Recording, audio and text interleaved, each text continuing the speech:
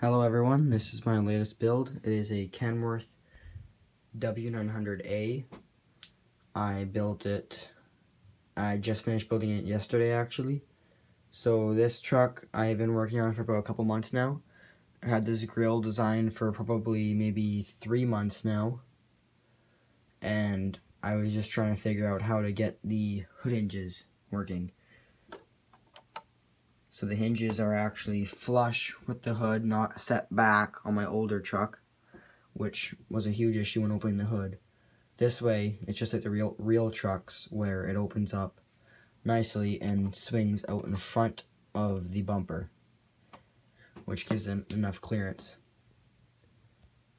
I've reused lots of the same components as my other truck, steps, tanks, and air filters. Same with the exhaust. This truck does not have working lights just yet. Oh, my other truck did. I don't know if I'll be adding it to this one. This is a, yeah, it's all-wheel drive in the back, so it's not just a, it's a full tandem is what I'm trying to say. And then on the back here,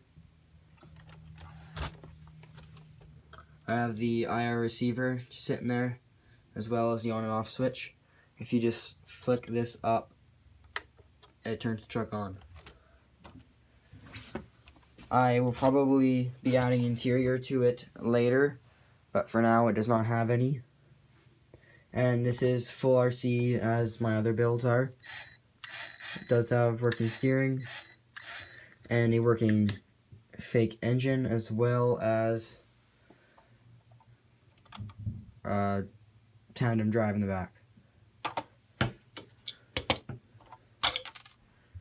Oops, there goes the emblem.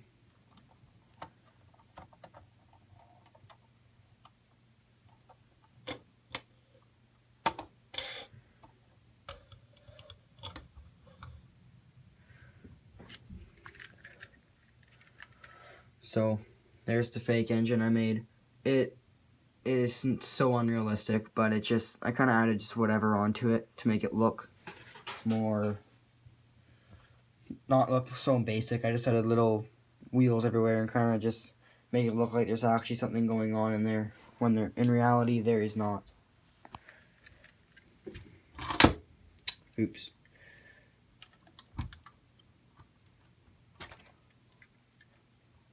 And the pistons do turn on it as well.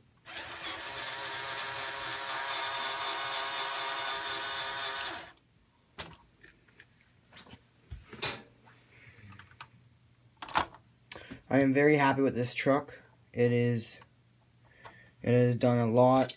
To me, it looks a lot better than my previous truck, which my previous truck was based on a Peterbilt 379. Well, this truck is based on a Kenworth W900A.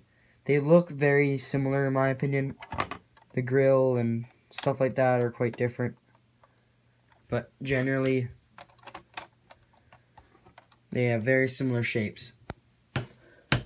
My previous truck had full red on it, which I was gonna do on this truck also, but I had I have some white, so I thought I'd add a white stripe in there, and I think it looks pretty good. Uh, drivetrain is two L motors. It's just a one to one ratio. Um, I probably could gear it down a bit, but I kind of like the speed. I do have an automatic high and low transmission sitting here from my previous truck, which I was going to add also, but I just couldn't find the space. I probably could if I redid a couple things, but I'm happy with the way it sits now.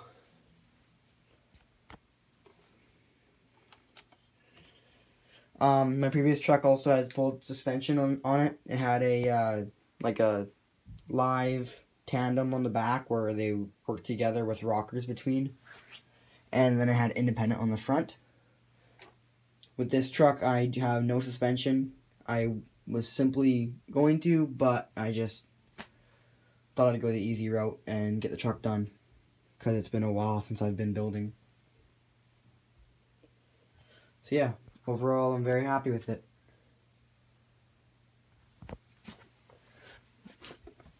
I'll show you some driving of it if I can get it down with one hand.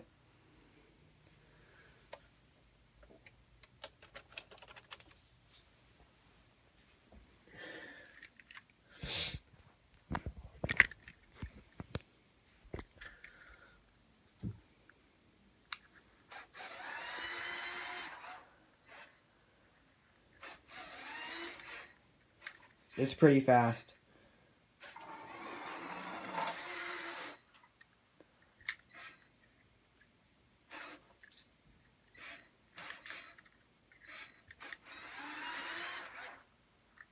Yeah, pretty happy with it. I might add some. I have all five cab lights on it, and I might add some twin horns on top. That's later additions. Overall, very happy with how it drives, how it looks. Most will most likely add a fifth build to it in the future, as well as a flat deck trailer to hold some of my other vehicles, such as my Mustang and probably some other trucks. I also have this all-wheel drive vehicle plan for the future. It's going to be like an 80s Ford, hopefully, pickup truck. Um, it has all-wheel drive, drivetrain in the front, differentials front and back. It was quite a pain trying to figure out how to how to build it build all-wheel drive, suspension, and steering all in the same axle. Was pretty difficult, but I managed to do it. So that'll be coming out soon. And then I also have this C cab here. Or, not a C cab, sorry, it's a 34. 34 Ford Model A. With a 337 flathead in it. Cool looking truck. Not finished though. I really want to clean up the back a bit more. And then my other hot rod up here is a uh, 1930 Model A coupe, five window coupe, with a big engine in it. Not, nothing specifically on that one too.